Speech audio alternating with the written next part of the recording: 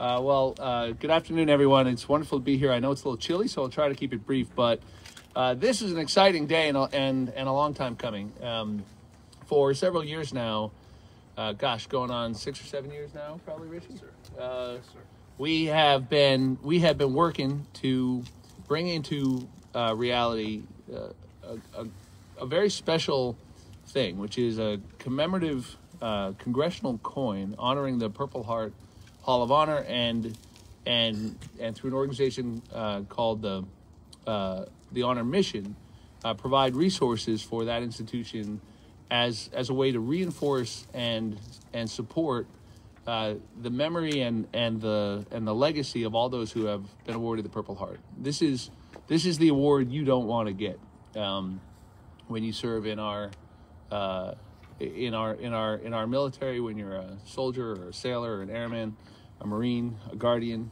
um, and we are blessed in the Hudson Valley with so many people who have served our country and. Uh, along with that, many who have distinguished themselves.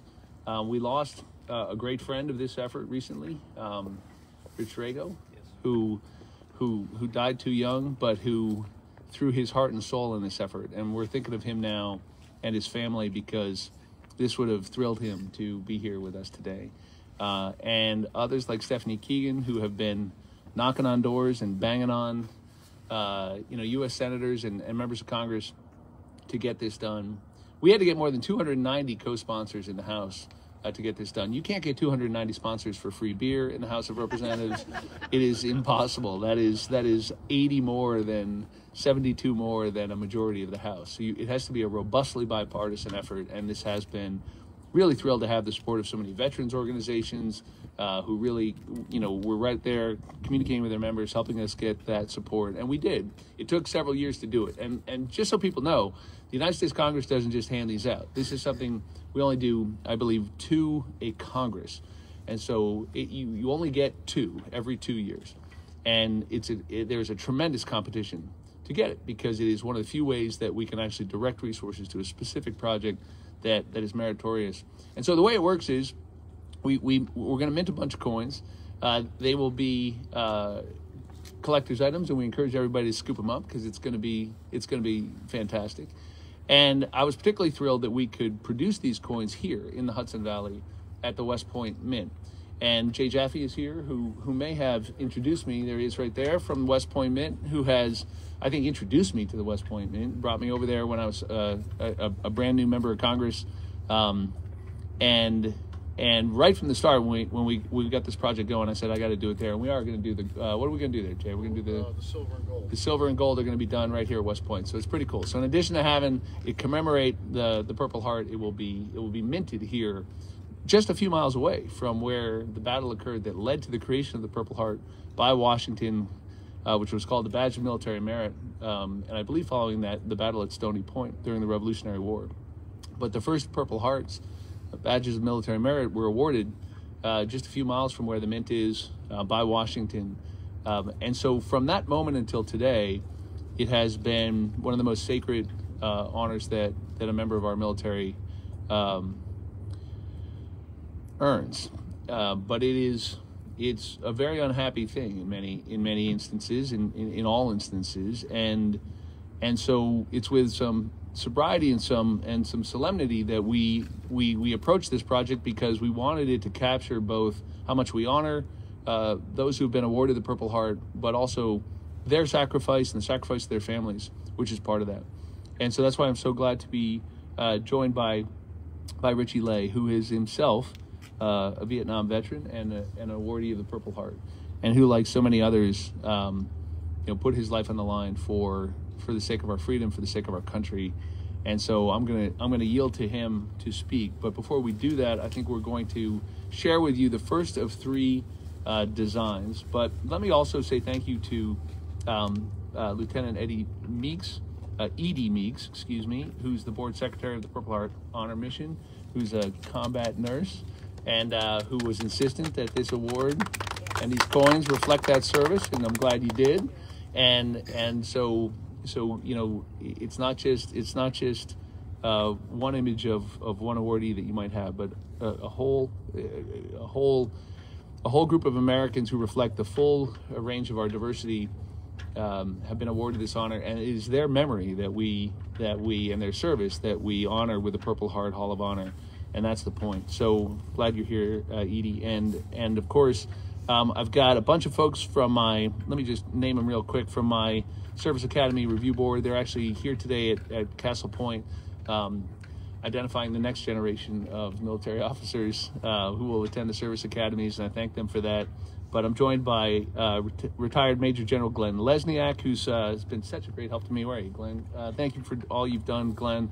Um, uh, Andy Hidalgo, Peggy Kent, um, uh, Bo Pendergraft, uh, Shara Abraham, Lou Liotti, Jeff Lewis, Debbie Adelin, Joe Colombo, Glenn Goldman, Jay Jaffe, who I mentioned, Bob Anderson, Robert Anderson, and um, Bob Phillips also uh, James uh, Maxwell and and I and I mentioned Richie Lay. I think I got everybody. If you're if you're going home mad, let me know because I don't want to get in trouble. And, and we're joined by we're, we're, joined by a friend here from Castle Point as well. Thank you, sir, for being here. just told me there's a, a vet turning 100, and we're going to get him a letter to to wish him happy birthday, uh, Dante, uh, who I've met many times. But but look, let me um, let me tell you what we're going to do. So we've got three designs now. We've moved the process along. Um, it's hard for me to believe this is real, but we have now three designs that we want to unveil today. Uh, Richie and I are going to unveil the first one, and then we're going to ask uh, Eddie and uh, Edie and Stephanie to um, to do the other two. Um, and we want to do that now. Is that right? Right. So, and then what I'll do is I'll I'll get out of the way and we'll let um, we'll let uh, Rich say a few words. But I'm thrilled to do this. So this is the first of our three designs. You ready? It goes towards oh, the back. back. Ready? One, two, three. Whoa!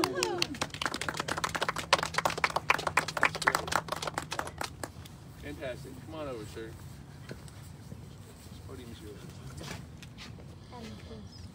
Today is truly a historic day, and what a great place for us to unveil these coins. These coins are befitting Purple Heart recipients. They were done out of love they were done out of care and they were done out of dedication to honoring all those who received the Purple Heart. For every Purple Heart that's issued, there's a team that's involved in that.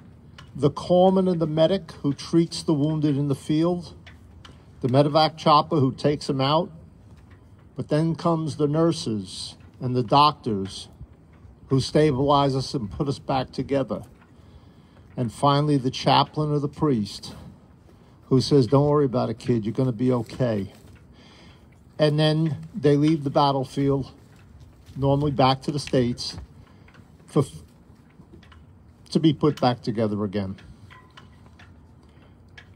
The families, the brothers and sisters, the sons and daughters, the aunts and uncles, and all those part of that family stand behind each Purple Heart that's re- that's received. Two ladies I'd like to thank Stephanie Keegan, our general, who took us down after six years, mobilized us into teams, and walked us in like a true military mission, combat mission, to each person who did not sign that petition. Edie happened to be one of them. And when you walk in, she may not look big, but she's a giant in our eyes.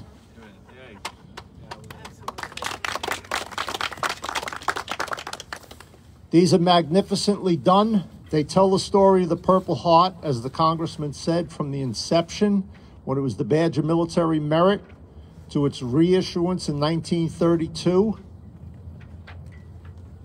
here at in New Windsor.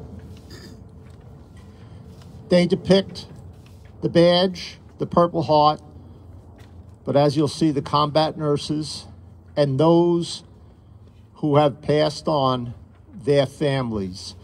We did it with love, we did it with attention. We ha- have to thank the artists who did this and the people at the Mint. But there's one person and one person only, and he's standing in back of me because without his perseverance, Without his continued drive, it was defeated twice And he got back up. He said, We're going to make it happen again. And we did it.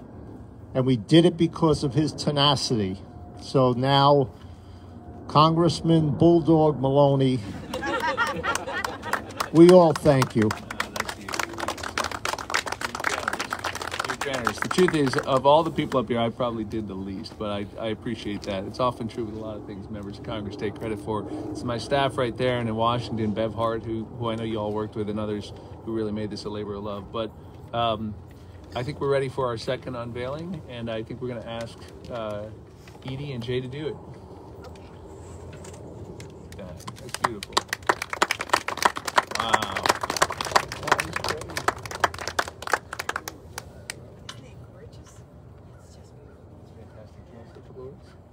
Can I can I embarrass you properly? So, um, you didn't know it was going to come with an introduction. Uh, this is Edie Meeks, ladies and gentlemen. If you haven't met, Edie, she is uh, she's amazing. And the minute you meet her, you know that uh, you, you feel her passion and her commitment. But what you might not realize if you met her at the supermarket, that um, she joined the Army Nurses Corps, was commissioned as second lieutenant, uh, did her basic training at Fort Sam Houston in Texas, uh, and after working in Fort Ord in California, volunteered to go to Vietnam.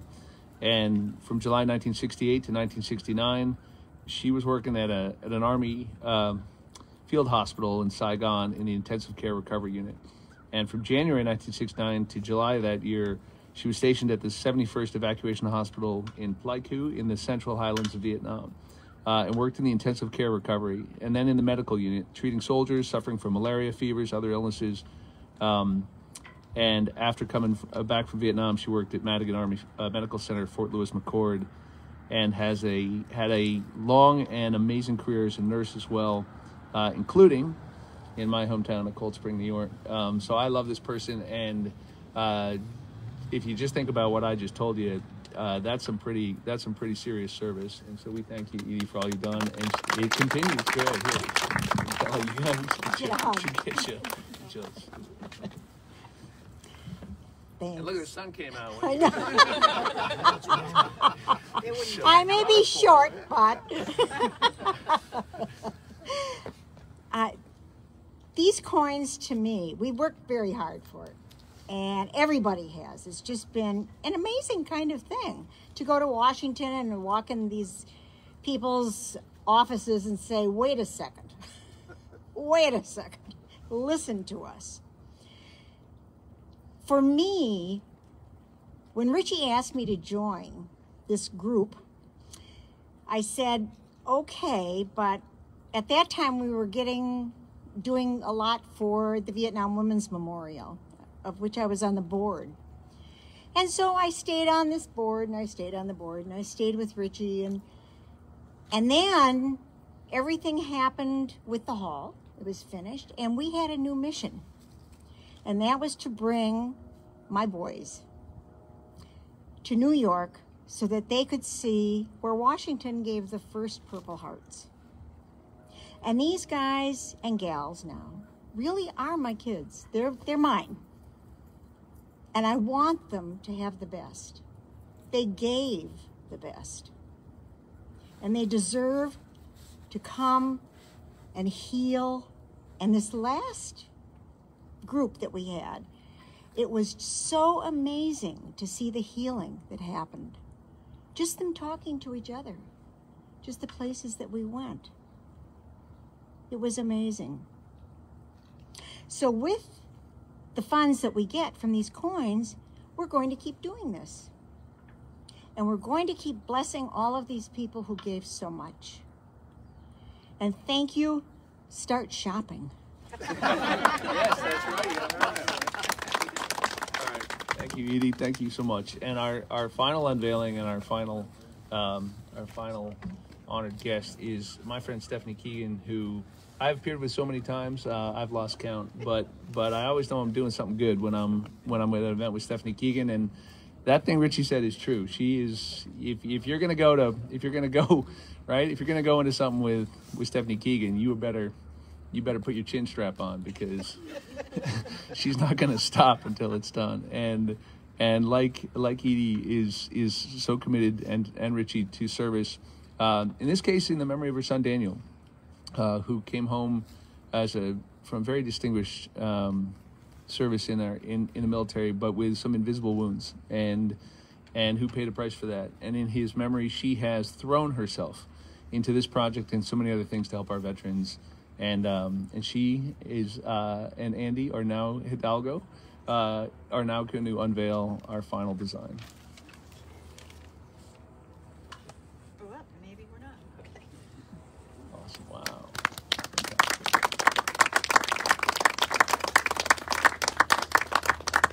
These are absolutely beautiful. Do you want to say something? Yeah. Come on. So, most of the people here today are veterans, have served, understand what the meaning of service is. But I decided this morning, right before I left my house to come here, that I wanted to read something for those of you who haven't served to understand what going to work in a uniform looks like as opposed to going to your office.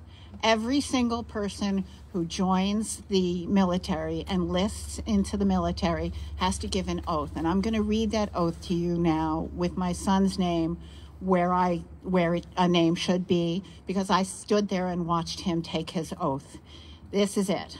I, Daniel Keegan, do solemnly swear or affirm that I will support and defend the Constitution of the United States against all enemies, foreign and domestic, that I will bear true faith and allegiance to the same, and that I will obey the orders of the President of the United States and the orders of the officers appointed over me according to regulations and the Uniform Code of Military Justice. So help me God. And so many people have sworn that oath, have made that promise, and have given so much in sacrifice to this country.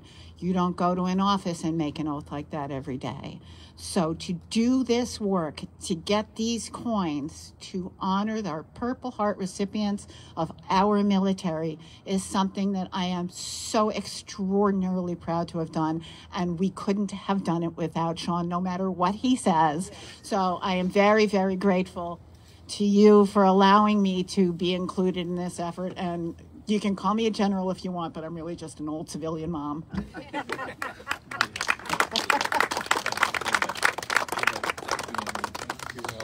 All right, well, that, that completes our presentation, but I should add, because I don't think I did, uh, for those of you who may not know, the way this works is that we mint these, uh, and when the expense to the taxpayer is um, recouped, which it will be in full, then the, the excess of that is what goes to the honor mission to support its important work.